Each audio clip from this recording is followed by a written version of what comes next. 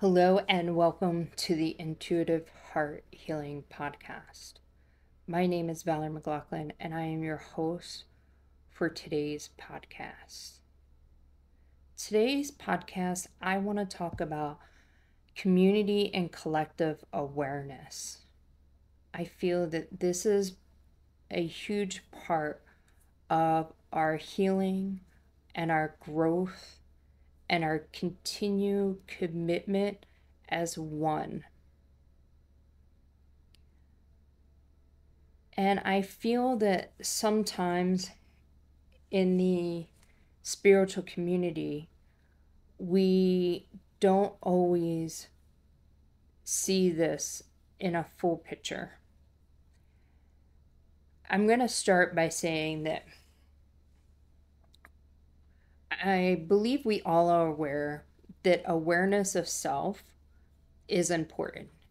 And I have in the past, and I will continue to talk about how important awareness is.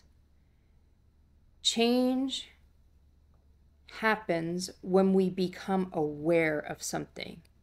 So if you are, as an individual, constantly talking, having negative talk, talk, negative self talk, where you're telling yourself you're not good enough or you have doubts about yourself. Sometimes you, we do this and we're not even conscious of it. And we're not, when we're not even conscious of it, we can't make the shift and change. So once you become aware of it, then you can make the shift and change, you can heal. And that even has to do with past traumas. Like going back and healing childhood traumas, childhood shadow work, the inner child work. You can only do that when you become aware of it and when you allow yourself to go in there and heal that. And I am a big proponent in the fact that when you heal yourself, you help the collective and you help inspire others to change. And I will always be a believer in that.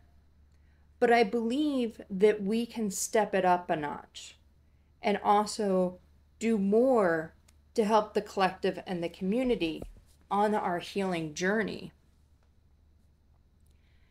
And I feel that sometimes in the spiritual realm of things and, and spiritual practice, you know, we talk about wanting to be in the vibration we want to hold. I totally agree with that. I totally understand that. We talk about, you know, looking at positive things, which is great. But there are two aspects of us we are light and we are shadow. And if you are constantly just looking at the light and ignoring the shadow within you, you're ignoring a part of you that is going to help eval- elevate you and help you change. And you're really not healing that part of you by just being in the light. It's something sometimes people call a spiritual bypass.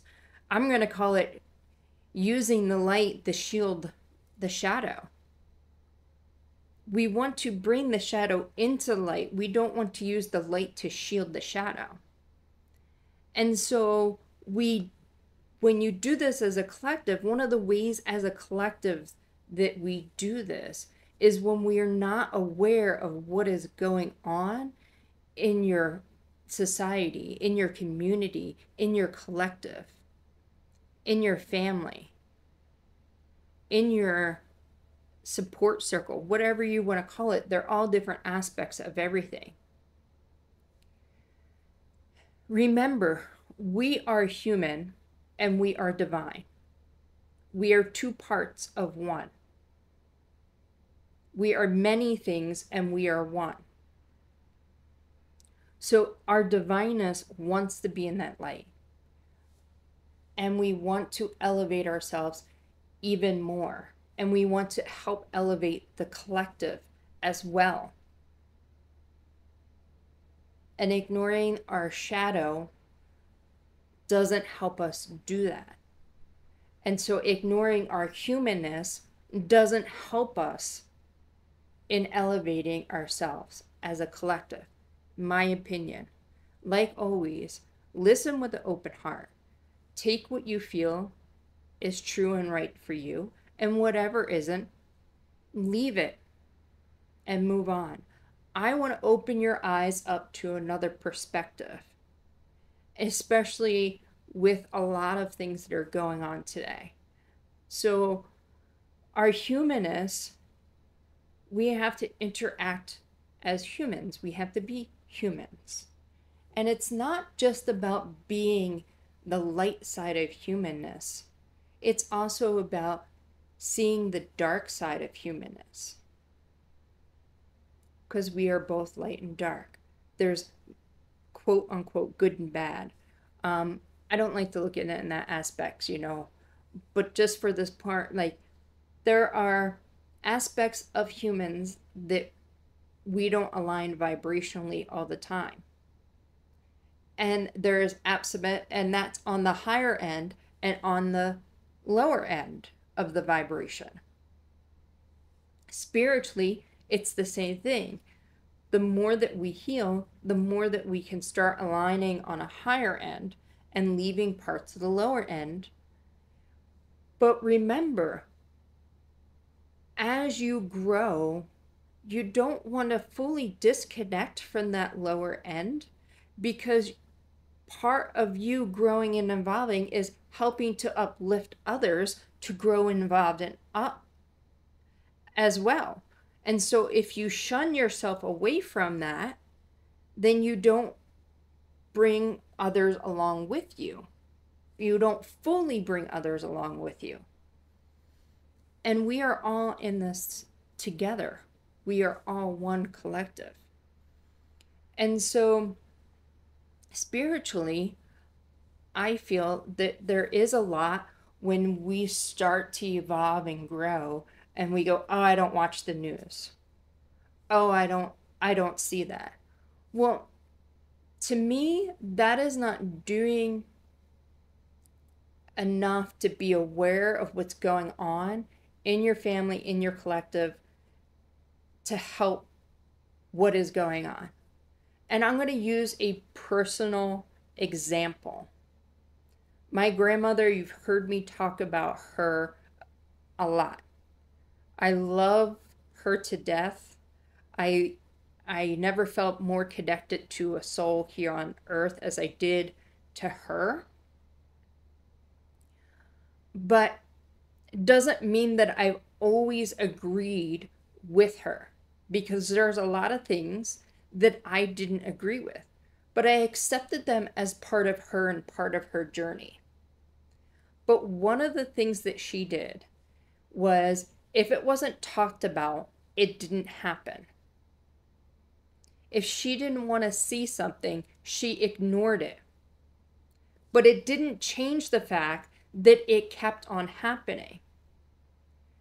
So my uncles were all had pretty addicting behavior behaviors. Um, and they've all have had uh, different addictions to different drugs. My one uncle was in the 70s got really into pot. For some of you that may or may not be a big thing and um, we all have different relationships to it. As i grew up i understood that that smell was pot being smoked because he always lived with my grandma. He built an apartment on the back of her house that she paid for um, that he lived in his whole entire life. And we would say something and she wouldn't we'd be like what's that smell? She goes i don't smell anything. And clear day you can smell it. It was if you didn't talk about it it wasn't happening and unfortunately it led to my other uncles kind of going down that path, same path and then getting more involved in there and eventually i lost two of my uncles and my aunt to drug related deaths. Two of them were actually overdose. Because there was a ignoring of a part of what was going on because in her mind and and part of it is our upbringing and how she's brought up is if I don't see it, I don't hear it, we don't talk about it, it didn't happen. It's like the ostrich put your head in your sand. And I feel that it, I feel like a spiritual community, sometimes we do that. We put our heads in the sand because we are connecting so much spiritually that we forget about our humanness and what we can do to help heal the planet, to help heal the people on the planet. And when we're not paying attention to the to what's going on, and I'm not saying you have to watch the news. I'm not saying that all at all. I don't watch the news. I I know that as somebody who's empathic, watching the news where it's usually talking a lot about this shooting, this car accident, this thing that happened isn't good for me. But I do read and I do listen to other people and I listen to what is going on around us. I listen to um, indigenous people. I listen to people of color. I listen to the the LGBTQIA community and the queer community because I want to know more about other people's experiences. Because I see things through my lens, you see things through your lens, and we see things through what we've been taught. And so, in order to make changes on things, to broaden our perspective, it's good to listen to other people and listen to what is be going on in our political system. You know, I grew up as a Gen I am a Gen Xer. I grew up in the 80s and you know, it was one of those things where, you know, you don't you don't necessarily rock the boat. Um, you know, our vote didn't count. That's what we talked about. You don't talk about politics because that's like taboo. You don't do that and you don't want to start any problems and all this. But when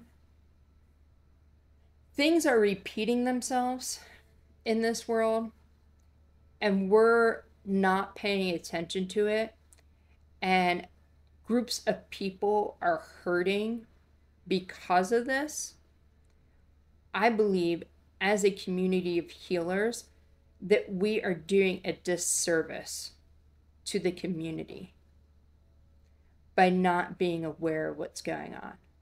I recently, on my trip back east, I was talking about things, and, and people are like, oh, you know a lot about a lot of things that are going on.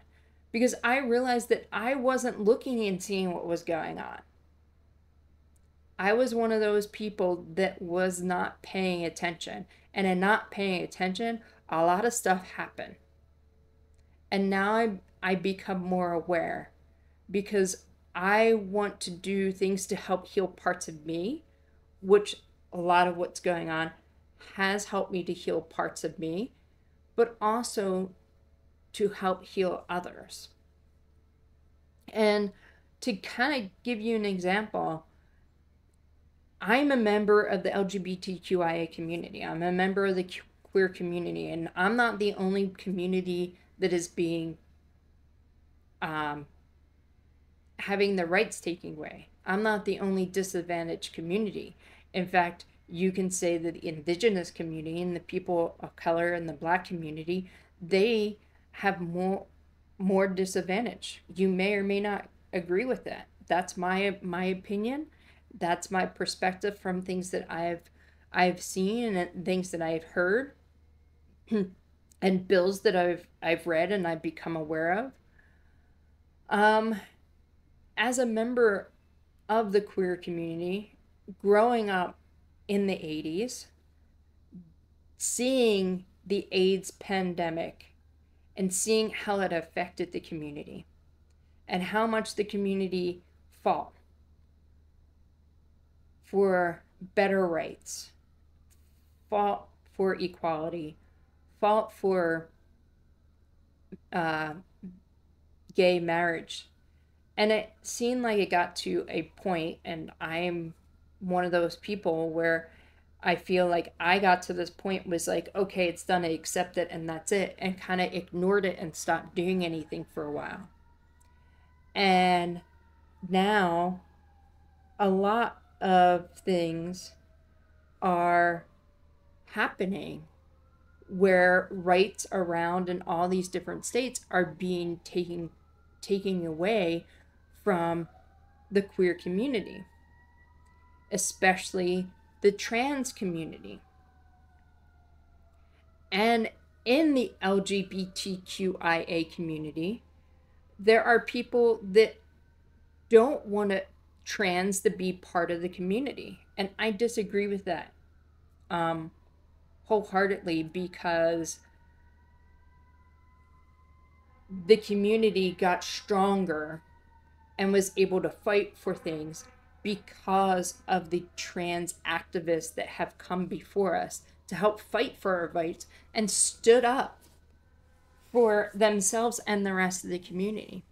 And I believe that we are stronger as a community when we stand together. Not just the queer community, but the community and collective as a whole.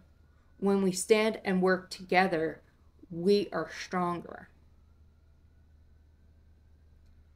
And in order to be stronger, we have to listen to other people's perspectives. We have to listen to other people's viewpoints on both sides. Because if we aren't listening to each other, then we can't help each other grow and change. We can't help each other heal. And I see this a lot in in in looking at things that are going across and I'm just going to speak with the with the queer community is when somebody disagrees with something like transgender rights it's automatically like you're transphobic. And yes, you possibly are transphobic, but saying those words aren't necessarily going to help make shifts and change. We have to begin to listen so that we can go and and help go heal the roots of where all this is coming from. And also, if I'm shutting off and not listening to somebody because they totally dis their total viewpoints are on the other side of me. And let me tell you, this is something that I constantly work on myself. Constantly work on myself because sometimes it's hard when it's so personal. But when it's so personal and it's hard and it hurts, that's another opportunity for me to go deeper to figure out where it's coming from inside of me that I can begin to heal. And sometimes it's anger and how how do I transform that anger to help deliver a clear message? To help unite people and bring people together. And communication and listening are a huge part of it. But the first part is you have to become aware. If you are not aware of what is going on in this world, then you cannot help make the shifts and changes. And if your awareness is only reading headlines or listen to 30 minute, 10 minute, no, 30 seconds, 10 seconds, 15 minute, 15 seconds, 15 minute clips um, of of people stating one opinion, you're not opening up to all of what's going on.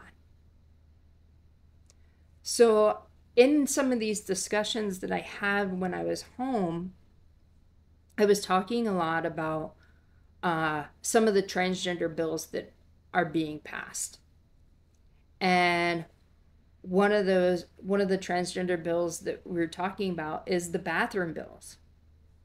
For for years, transgender men and women have been going into the bathrooms that they their gender appears and using those those bathrooms. And you've heard me talk about this in the past, being somebody that is cisgender woman um, as a kid. I didn't present necessarily as a woman because I am very gender fluid in how I express myself. I don't always conform to the gender norms, whatever they are in our society that we create. So I always had my hair short. And I've had experiences going into a bathroom, into a woman's bathroom, and being yelled at to get out and I don't belong. Where there are transgender people, transgender women that present as women that have been going into the women's room for years, and transgender men who present as men that have been going, and you don't know the difference. You have no idea. They go in, they go, they use the bathroom, they do their business, and they walk out. I know when I walk in the bathroom, that's all I do. I don't hang out in the bathroom. I was never one of those people that did my hair, check out my makeup. I went in, in and out. I wanted to get in and out. I never wanted to hang out in the bathrooms. And most people, not all, a good portion of people are like that. And with all these bills that have been passing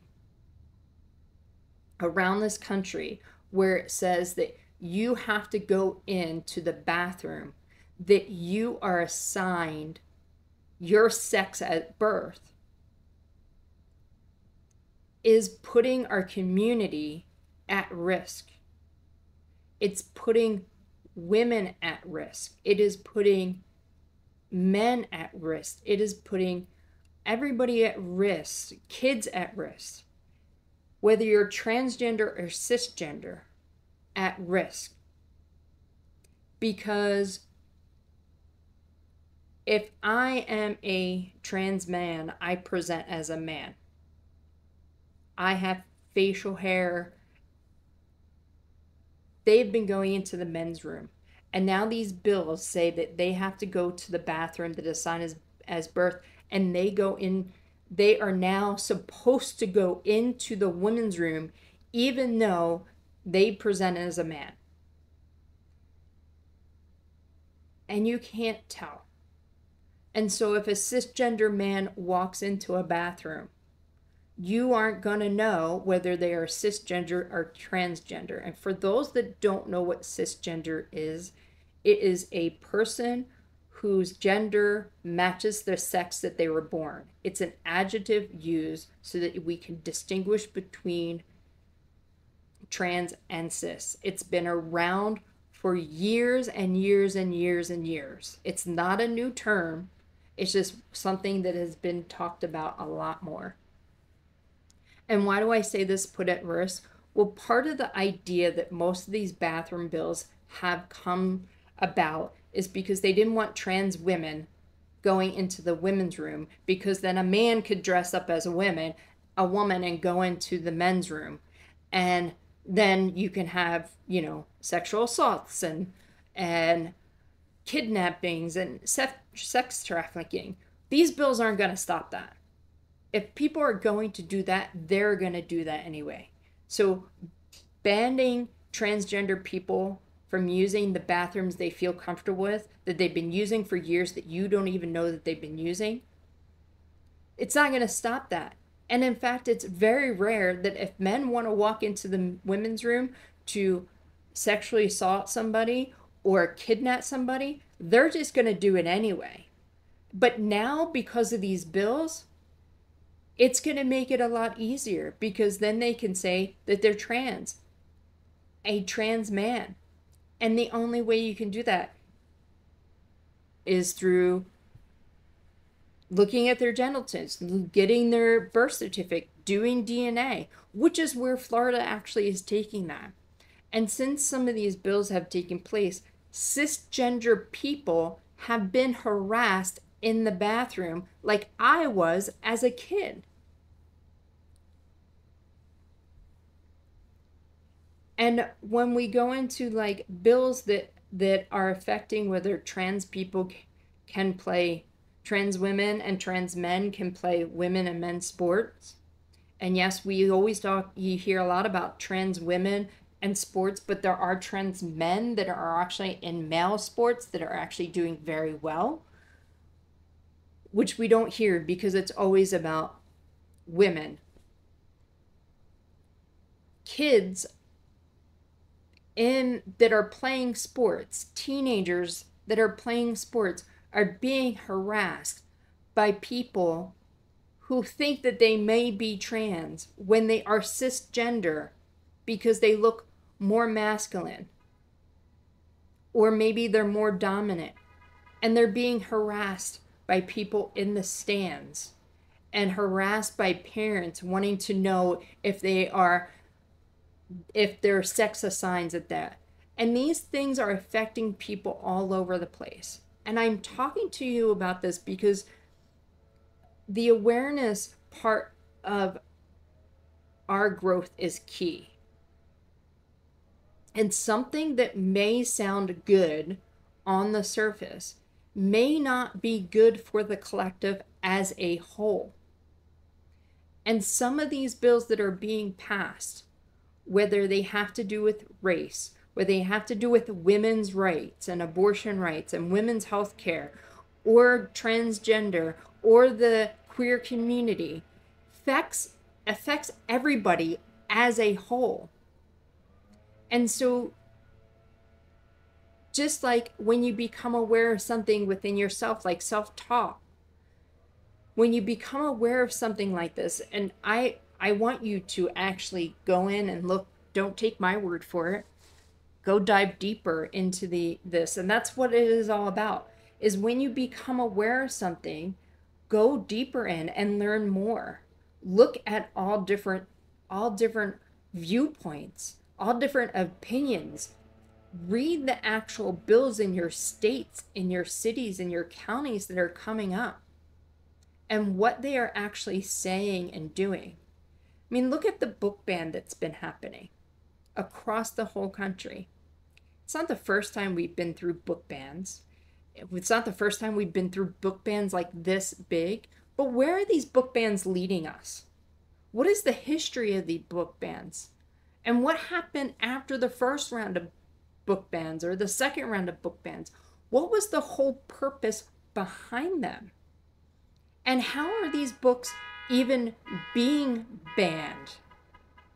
Are the people who's putting requests for the bans actually even reading these books? Are they just saying, oh, you know what? This one is about women's reproductive rights. We need to ban this. This one is about race. And you know what? It puts white people in bad light. We should take this up. We should ban this people might be saying this and they just oh let's put this book up and they're not even reading books they're not even reading it and i'm talking across the board book bans reading the book is important to understand where it's coming from. And my perspective in reading a book might not be yours. So i may not even see what you're talking about because my viewpoint my perspective how i grew up and all my life experiences might give me a different take on that book. I know that when I watch different TV shows and and even now, like when I go back and watch shows that I watched years ago, when I was watching them from a different perspective, I see things differently. I also see some spiritual hidden meanings in these because now I'm aware of them. So it's very important for you to do your own research and look at your own um, all the different viewpoints on things so that you can draw your own conclusion. But when it triggers something within you, when then that's a that's an opportunity for you to heal. But when you hear that somebody else is being triggered by something, it's an opportunity for you to go deeper so that you can help heal the collective. You can help heal the community. You can help grow if you stay in one viewpoint, then you are keeping yourself stuck and you are keeping the collective stuck. And we want to keep moving as a collective, keep raising our vibration. And yes, the work starts with you.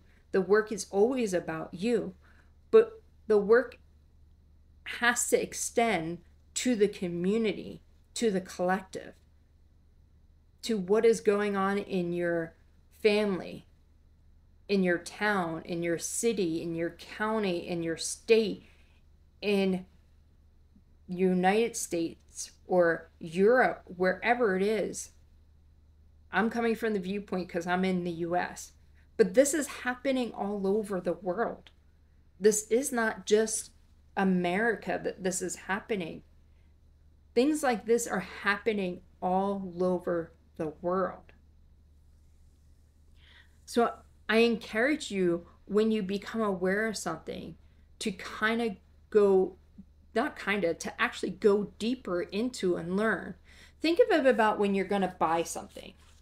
And maybe I'm one of those rare cases that do this. Or when you're going to go out to a restaurant. When when I'm looking to like buy something or to go somewhere, especially a restaurant in a new area, I like to read the reviews. I like to read the good reviews and I like to read the bad reviews. I don't usually read the reviews in the middle. Sometimes I do, but I usually go for both extremes because in there I can learn so much and then draw my own conclusion. Because somebody might say a bad review of a restaurant might might be that they didn't have gluten free pasta or gluten free items and that person was was gluten free. So if I'm looking at a restaurant and they have like a 4.2 stars, I'm reading the reviews. I'm looking to see why that is. And so a restaurant not having gluten free items may not be a negative for me for me, it would be, but for for somebody else, it may not be. So just because they didn't have that for somebody else, that may not be a reason why you won't go to that restaurant. But then you also might read that and say, you know what? I don't want to go to that restaurant because they aren't open to having options for some for people that have dietary needs, and um, that's important to me. So it also has to align with you and your integrity. So if you look at look at reviews that are good and bad, you can start to actually draw a clearer conclusion of yourself. And so when I look at things um, as a community collective, I like to hear all the different perspectives because I want to be able to draw my own commun- my own conclusion.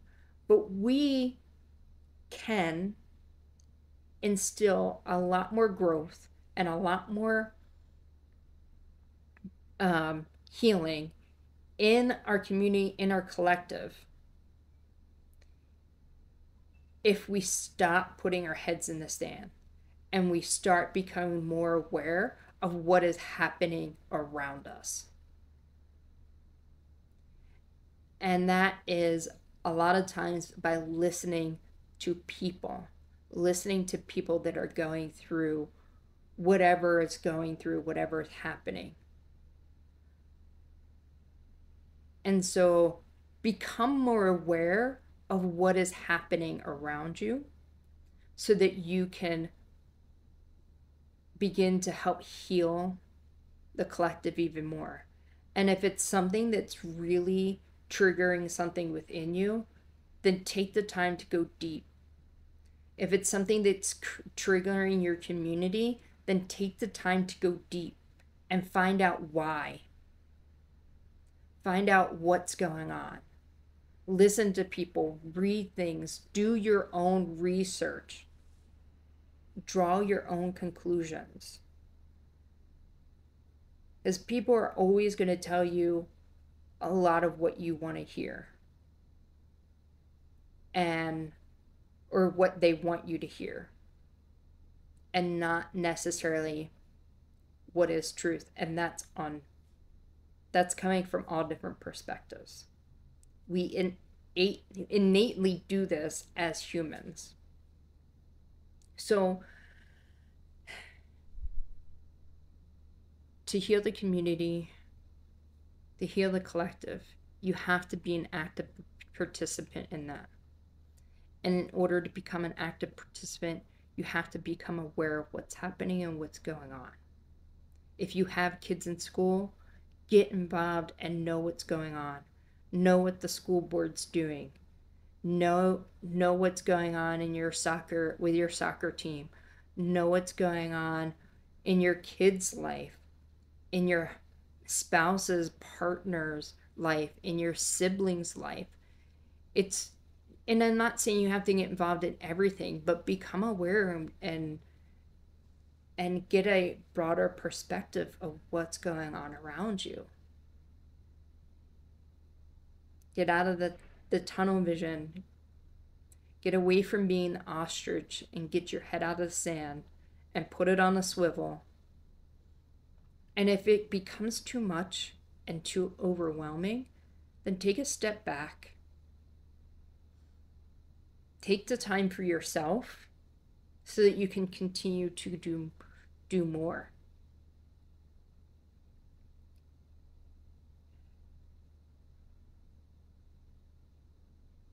I hope that you listen with your open heart and that you go out and you learn more about what is going on around you and however that looks so that you can help heal yourself, your family, your community, this whole collective consciousness. Because we are all in this together.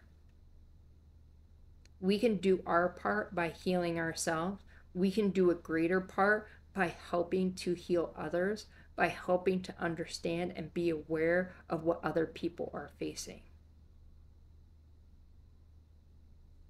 your problems are no greater or less than than somebody else's but becoming aware of what someone else is coming through going through can help you become aware of something also with it that is innately inside of you that may be ready for heal for healing within you we do this all together and by doing this we help spread more love and love is really what's going to change this world, which is going to change this universe, which is going to change you. And a higher vibrational impact by spreading more love.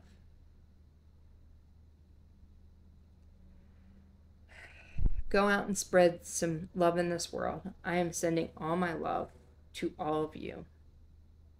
Until next time, bye bye for now.